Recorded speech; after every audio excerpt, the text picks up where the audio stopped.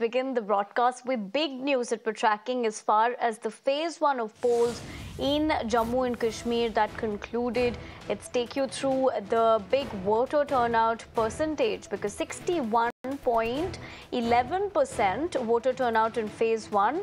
The highest turnout was seen in Kishtwar. Let's tell you, Kishtwar recorded 80.14%. And while we're talking about the least turnout, it happens to be in Pulwama. In fact, the numbers indicating that 46.65% voter turnout. This is, of course, in the phase one of the polls and the phase two polling on September 25th. Pradeep Datta, my colleague, joins me for more. Pradeep, very good morning. We just gave a quick takeaway where these numbers stand, but as far as you know, these key polls of phase one that took place and these numbers that we're breaking down, tell us more all I can say that this is the victory of democracy in Jammu and Kashmir and also a tight slap on the face of those who had been portraying a very gloomy picture of Kashmir, especially after abrogation of Article 370. There were political parties who were saying that there will be no one to hold tricolor, there will lead to complete alienation. A similar kind of a theory was even propagated by our neighbor Pakistan.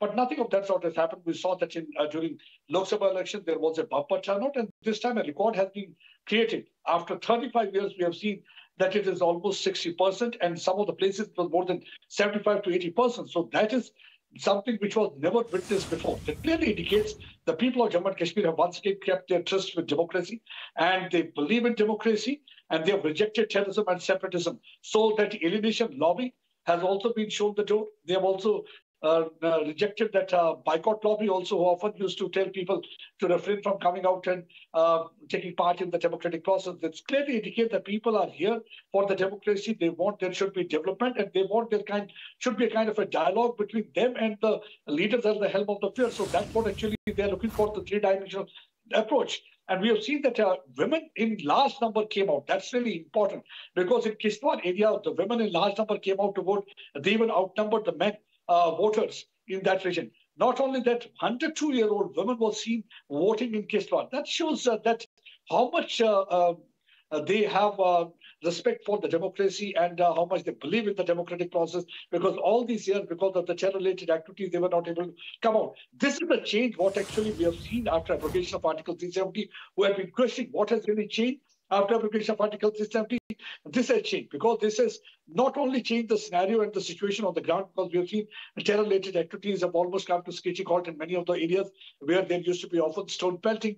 And there, uh, a number of youngsters joining Terror Act has also decreased. And also we have seen that there is right. no more fear. Pradeep, as you point out, what has really changed essentially before the application of Article 370 and now these numbers coming through. But a quick word on the fact that Prime Minister Modi is also going to be in the region today. In fact, he's also put out a social media post saying that how he is going to be addressing a rally in Srinagar as well as Katra. But what more can one expect from that today? See, it's a very important and significant visit. Just uh, the second phase of the polling is to begin on 25th, uh, and, and before that, he's coming over mm. to Katra as well uh, to Kashmir Valley. And when he'll be addressing in Kashmir Valley, large number of people are expected to be there because he's the only prime minister till date who had uh, been coming off and on to Jammu and Kashmir. He's not someone who will be coming only uh, during the election time and asking for the vote because whenever there was a calamity, whenever there is anything, Prime Minister Narendra Modi is always there for the people of Jammu and Kashmir. We saw him uh, during the floods also in 2014. Uh, we saw him after that also coming and celebrating Diwali with the uh, soldiers there on the ground, then addressing people there also. So he has got a great love and affection for the people in Jammu and Kashmir. So nobody can point a finger that uh, now elections are around the corner and all of a sudden the Prime Minister is coming out to this place. So he often on keeps on coming. So it, he has been able to strike an emotional chord because from day one they have made it clear that one, they should, uh, they are trying to create a kind of a new leadership in Jammu and Kashmir.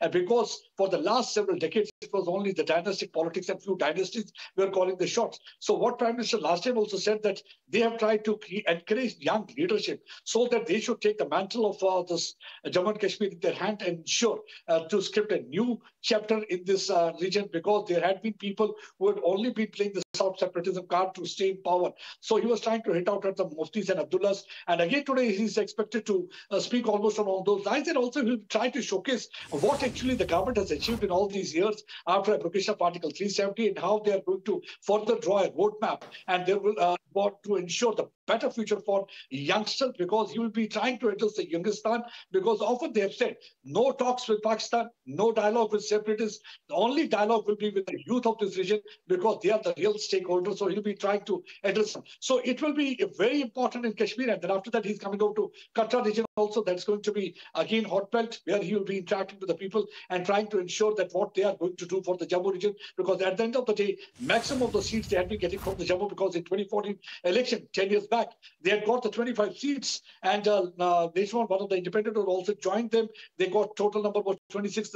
All the seats were from the Jammu region. So his visit will be significant in Kashmir Valley. Will the BJP will be able to open account this time in Kashmir Valley? Will they get seat? Now it's to be seen. But so far as Prime Minister is concerned, definitely he's going to showcase the development project they have undertaken because it was during their tenure uh, they got to All India Institute of Medical Sciences. They got IM and other facilities, and we have already right, seen that how the road has been laid from one part to the other part. Right, Pradeep, I'd have to interject you there for the moment, but thank you very much for joining us on both those aspects, not only in the terms of the numbers that we've looked at, but this essential uh, key visit of uh, the Prime Minister as well today. Having said that, we're shifting our focus